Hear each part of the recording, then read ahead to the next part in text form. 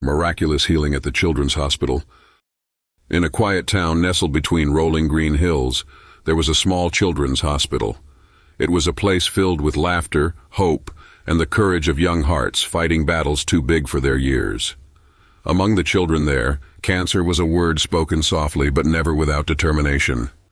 One day, as the warm rays of the sun streamed through the hospital windows, a man dressed in simple robes arrived.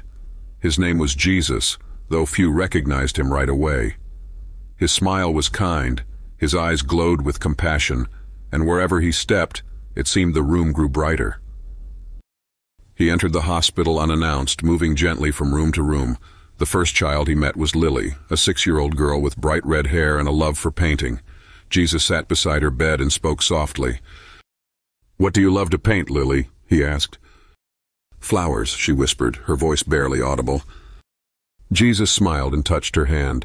You are like a flower, Lily, beautiful, strong, and full of life. As he spoke, color returned to her cheeks, and her tiny fingers, once too tired to hold a brush, now danced with energy. She felt a warmth in her chest, as though the sun itself had moved inside her. From there, Jesus walked into the room of Mateo, a 12-year-old boy who loved soccer, but hadn't played in months. Mateo was asleep, his brow furrowed in pain. Jesus placed his hand gently on Mateo's head and whispered, Wake up, champion. Mateo's eyes fluttered open, and he smiled as if waking from a wonderful dream. For the first time in months, he felt strong enough to sit up. Word of the mysterious visitor spread quickly, and soon nurses, doctors, and families gathered in the hallways, watching as Jesus moved from room to room. He healed Ava, who had lost her hair but never her hope, and twins Sarah and Sam, whose laughter returned like a melody long forgotten. In each room, Jesus didn't just heal bodies. He touched hearts, reminding everyone of the power of faith, love, and miracles. In each room, Jesus didn't just heal bodies, he touched hearts, reminding everyone of the power of faith, love, and miracles. In each room, Jesus didn't just heal bodies, he touched hearts, reminding everyone of the power of faith, love, and miracles.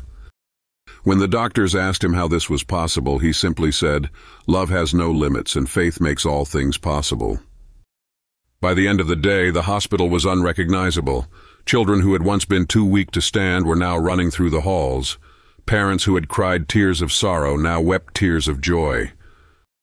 And just as quietly as he had come, Jesus left, his presence lingering in the air like a warm embrace.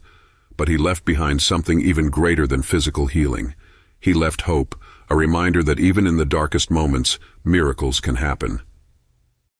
From that day on, the Children's Hospital became a symbol of faith and resilience, and those who were there never forgot the day when the man in simple robes brought light into their lives.